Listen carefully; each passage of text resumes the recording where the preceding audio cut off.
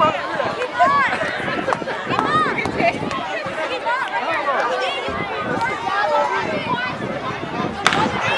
right, they're off. Oh, these are 12-year-old girls.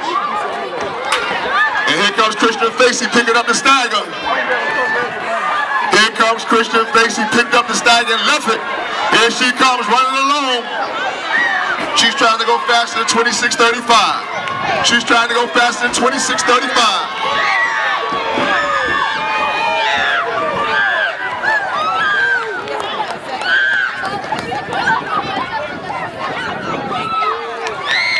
And she did it, running time 25.98. Next up, 12-year-old boys, 200 meter finalists.